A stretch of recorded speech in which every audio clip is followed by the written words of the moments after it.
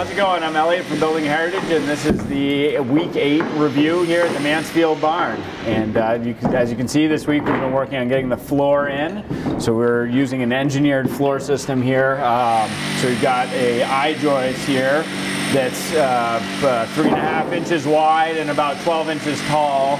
The, uh, the idea here is that we need to get uh, about 100 pounds per square foot live load rating on the floor system, which is uh, fairly high and way more than the original floor system was ever designed for when it had loose hay spread all around on it. Uh, so what we've done, we'll be able to see down in the basement a little bit more, is we've left most of the original beams. The floor joists are mainly cracked and split and rotten, uh, but the beams that the posts and sills sit on and everything have stayed and we've infilled with new uh, engineered lumber and uh, three-quarter inch subfloor that will bring us up to those specs. Um, so we've gone through, done a lot of leveling of the floor system, everything set on joist hangers, and uh, and so we're going through and we'll have just about half the floor done by the end of the week this week.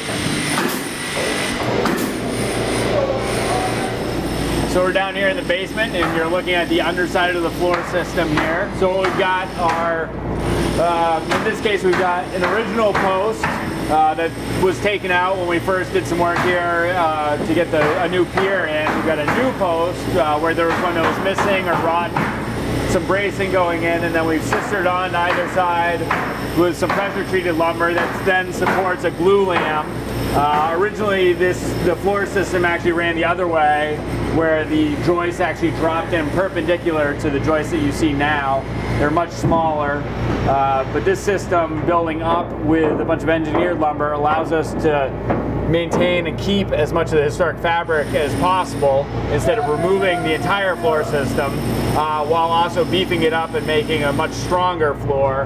Um, but all that we've done at this point can also be removed if uh, you know it was ever desired to sort of re return it to its original appearance.